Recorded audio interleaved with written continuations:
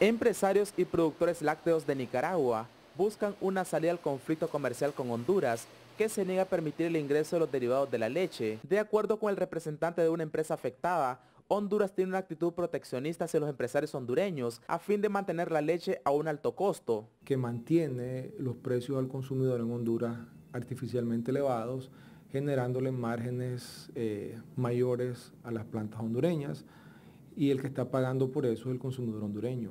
Eh, la leche en Honduras es sustancialmente más cara que la leche en Nicaragua, eh, porque los márgenes de las empresas, de las empresas en Honduras son sustancialmente más altos. Entonces lo que el gobierno de Honduras está haciendo es perjudicando al consumidor, que es la gran mayoría de los hondureños, y beneficiando a un grupo selecto de industriales. En los cinco meses de bloqueo, la empresa de lácteos ha dejado de exportar entre 500 mil y 700 mil litros de leche mensual, lo que representa una pérdida de un millón de dólares por mes.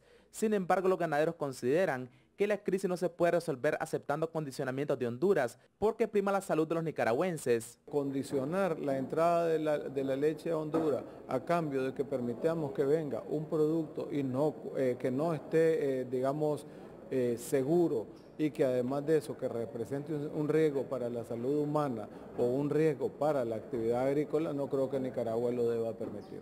La Cámara Nicaragüense del Sector Lácteo considera como alternativa al problema buscar nuevos mercados, entre ellos Estados Unidos y Venezuela, con lo que se evitará que el precio de la leche se desplome a nivel nacional. La idea es buscar nuevos mercados, buscar nuevas alternativas de, de proceso, o sea, no solo esa línea, es, sustituir las líneas que se estaban de productos que se estaban enviando hacia ese destino en el caso de Honduras y tratando de, ver que cómo se aperturan nuevos mercados y se incrementa sobre todo los volúmenes hacia, hacia Venezuela. A comienzos de esta semana la empresa de lácteos interpuso contra Honduras una demanda ante la Corte Centroamericana de Justicia para defender su posición. De acuerdo con el Tratado de Libre Comercio firmado entre República Dominicana, Centroamérica y Estados Unidos, uno de los requisitos para vender entre los países son las regulaciones sanitarias y es lo que Honduras trata de evitar. En Managua, Nicaragua, Eliezer Flores, CB24 Noticias.